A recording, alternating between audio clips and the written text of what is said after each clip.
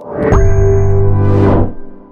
आम आदमी पार्टी ने तीन दिवसीय भूख हड़ताल प्रारंभ की है। आज गांधी जयंती से पार्टी ने शहर में बेहतर स्वास्थ्य, शिक्षा और बिज़नेस नीतियों पर आधारित आंदोलन शुरू किया है। पार्टी की मांग है कि शहर के हर विधानसभा क्षेत्र में कम से कम पाँच नए सर्व सुविधा युक्त सरकारी विद्यालय होना चाहिए।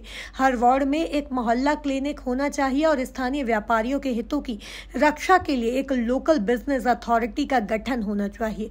इन तीनों मुख्य मुद्दों को लेकर प्रदेश प्रवक्ता डॉक्टर पीयूष जोशी अपने साथियों के साथ भूख हड़ताल पर बैठे हैं।